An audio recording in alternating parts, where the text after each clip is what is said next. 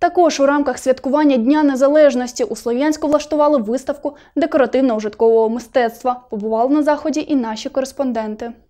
З нагоди святкування Дня Незалежності у Слов'янську влаштували виставку декоративно-ужиткового мистецтва. Вона розмістилася в центральному парку, де пройшла основна частина святкових заходів. Свої вироби представили місцеві майстри. Світлана виготовляє мило ручної роботи. Свою продукцію продає в інтернеті. У виставці взяла участь, щоб познайомити з нею жителів міста. При варке мыла э, промышленным способом убирают глицерин, э, который сокращает э, срок годности мыла, а, и добавляют пластификатор.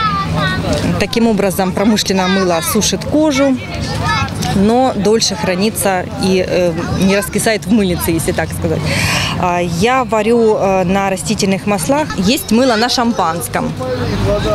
То есть вместо водной фазы в магазине вы не найдете такое мыло.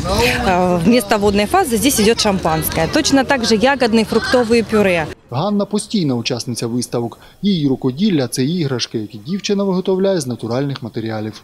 Шьем именно вот, например, есть зайцы с льна шьются, куклы с хлопка делаются. Ну, как бы большинство м, применяются натуральные материалы именно для тел, чтобы не тянулись, не деформировались. Ну, внутри синтепух, чтобы стирать можно было, так что, ну, как бы подходят для маленьких детей. Постійні учасники виставок – місцеві художники. Михайло Мхитарян за фахом художник-оформлювач. В радянські часи малював агітаційні плакати, а зараз пише картини олією. Наброски делаю, потом дома сижу и, и композицию и изображаю все полностью готовые картины выношу для людей, чтобы им было приятно, все было красиво э, в нашем городе.